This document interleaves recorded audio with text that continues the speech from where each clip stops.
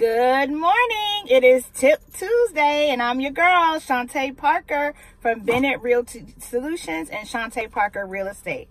Well, today I want to talk about the something that is near and dear to my heart, which is the short sale. The short sale. I close approximately, I have closed over a hundred short sales in my 15 year career of, of, of being a real estate agent. But on a regular basis, on a monthly basis, I am listing short sales and I am selling them. I'm probably one of the um, few people in this area who masters, who has mastered the short sale process of getting short sales listed and approved and actually sold. And I work with an outstanding company that helps me with the negotiations of these short sales. They actually do the negotiations because realtors are not allowed to do that. But I pair you with them. Um, and I have an exemplary close rate of short sales. The reason why I want to talk about this today is because I was inspired last night. I am a member of the Prince George's County Investment Club. My real estate company, Bennett Realty Solutions, is an investor friendly company and it is the reason why I came back to this company because I want to strictly focus on real estate investing, building my real estate investment portfolio, and I want to um, grow wealth and become a wealthy person.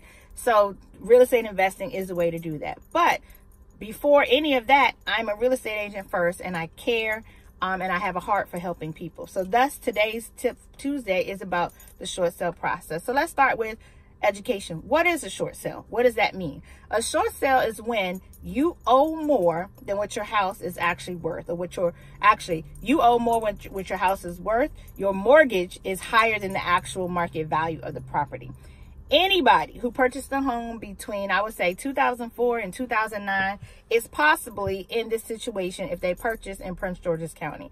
There are many many homes in the dc area that are in this same um, situation. Part of the problem from those years is that mortgage industry was turned on its head. You could get a loan just for breathing and have a social, having a social security number. It, they did what was called the stated income or no doc loan. So they allowed people to purchase homes that they couldn't actually afford. And trying to do a loan modification has become a very difficult process for many, many people. So there are people who are currently, and uh, and also in Prince George's County and in DC, there was what's called a moratorium on foreclosure. So people were able to sit in their homes without paying for the last, you know, for years and years and years. DC, it was seven years. In Prince George's County, they, it was so many foreclosures and short sales that the banks kind of just um, the moratorium happened and the banks just didn't pursue you. So there are people who sat in their homes without paying for six months, a year, two years, three years. I know somebody that hasn't paid their mortgage in four years and they are still living in a house and no foreclosure date in sight. Eventually they're going to come and they're going to remove that person from the house and they're going to sell it. So instead of waiting for a foreclosure, so let's talk about that. A short sale is when you owe more than what the house is worth. The short sale is an excellent solution if you want to A, try to restore your credit at some point. B, if you want to buy another house at some. And C, you could possibly get some assistance moving, which, which they call relocation funds. So a foreclosure, you don't get anything. You basically, basically are in default. It's the legal proceeding that the bank um, uses in court to get you removed from the property. And they basically take the property back from you. It stays on your credit for up to seven to 10 years. You cannot get conventional financing uh, if you want to purchase another house until seven years have expired after the short sale date. Not, not the actual short foreclosure date, but when it actually transfer from you, from out of your name and the bank's name to the other person. So that, you don't even know when that is. So, um, the foreclosure sometimes also you could be charged for that negative equity. So let's say your house you owe 700,000, it gets foreclosed on and they sell it for 300,000, that $400,000 in negative equity that you didn't pay, they can tack back on to you, especially if you had a second trust mortgage. So we don't want any of that. What what I want to share, the good news is that you can do a short sale. A short sale is a great solution for many, many reasons. One, you can short sell your home and still continue to live in it. And if you are in default, you can continue to live in that state while the short sale is being processed. Um, the short sale, oftentimes they let you walk away free and clear. There is no tack on of the mortgage after the fact. Now, every case is different, but usually in my experience, this is what I've seen. I've also seen people get what's called relocation funds. I have seen zero to up to $30,000 in relocation funds. The average has been about $10,000 in relocation funds.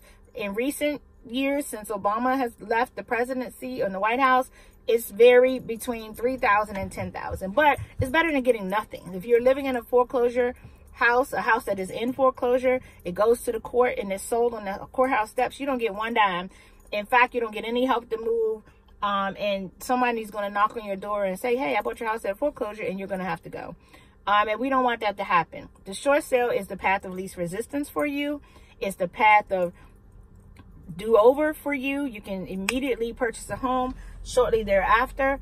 Um, bankruptcy is a whole nother topic, but bankruptcy is not necessarily the answer because although you file bankruptcy, let's say you do a chapter seven and you think, okay, all my debt has been removed, that house has not been removed. It, it's just removed from you, from you, but you're not removed from the obligation because then when you try to go short sale, all the obligation comes back again. Um, and it's just nasty. So it's actually better to do the short sale prior to doing anything else. I'm currently doing a short sale with several people. We are under contract. They go they go relatively quickly. Investors love to purchase them. I have a pool of investors that I work with that would be very interested um, to you know purchase the short sale. It is not necessarily short. Um, is it a good deal? It can be. Um, it's not necessarily short in terms of the price for the person that's buying it for the investor um, because the bank still wants pretty much 80% of what is owed to them.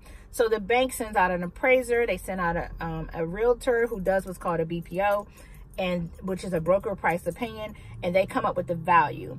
Um, so I list, I come to your house, I list the house for sale. We know that it's a short sale. We, I, I do the comps and I list it based on what I think it's going to sell for. We get an offer, we, we process it just like we would do any normal sale. Um, once it gets appraised, it goes on to their, um, it gets a negotiator. That person sends an appraiser out. They look at the file and they decide if you qualify for the relocation expenses. Again, each person is different. Each sale is different. Um, but oftentimes I see this happen. And then they give us what's called a short sale approval letter, which gives us the permission to move forward. The person buys the property, we move on. Now, this could take anywhere from 30 days up to nine months. So again, you're still living in the property. It's a good time to save your money. It's a good time to plan accordingly where you're going, what you're going to be doing after the short sale happens. But the short sale is a really, really good option. I have a video about it. Um, you can go to my YouTube page, Shaunte Parker Real Estate, and you'll see that video there, or I'll post it below um, where I really go further in detail explaining the short sale process and why it's a good solution for you. But I just wanted to share Tip Tuesday. If you know anyone that is behind in their mortgage, you know, anyone, I mean, there are people in DC is a good place where people have died and they had a mortgage. So the mortgage still exists, even though the person died, it still exists on the property. So the family has not been paying the mortgage and the mortgage is just behind, behind, behind. For example, I um, sold a condo one time down there um, by Capital One Arena. Really awesome place to have a condo. The person died in 2007 and the family didn't contact me until like 2010. So for three years, nothing was happening with this property. It was just sitting there. Um, and it could have went to foreclosure way before that. So it's not worth the risk. If you want to sell the property, please call me. If you know anybody that's in a situation, please call me. If you know anybody who has a deceased family member and they in the home has a mortgage, please call me. Um, I'm here to help. I'm an expert at doing this. Um, I have plenty of people that I can um, bring into the process to assist us.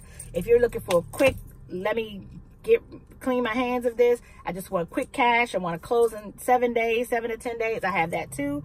Um, if you know anybody that has a home um, a family home that they want to get rid of, a ugly home that they want to get rid of. Maybe they're in a house and they just, they got married and they just want to upgrade, but they can't, they think they can't because they're in this house that's upside down. Call me. I have the solution for all situations. I am your girl. I am Shaunte Parker of Shaunte Parker Real Estate and Bennett Realty Solutions. My job is to help you. My job is to assist you with whatever you need and to assist everybody you know for whatever they need. So please share this video. that's it for today. I'm going to be hosting a class on April 14th um, with Haverford Homes. If you know anybody that's in the market and they want to know how to get a quick 15 up to $30,000 in cash to buy a home, this is the place for them to go. The spring market is hot, hot, hot. Um, I just wrote a contract for one of my favorite couples and we got ratified, but it was like five other offers and we beat them out. So you need somebody that is aggressive. You need somebody that works hard. You need somebody that puts your interests first. You need somebody that cares. And that's me. So you guys have a fabulous day. Thank you for watching. This is Tip Tuesday. Until next time and next Tuesday, I'll see you later. Take care. Love you guys. Share the video. Don't forget.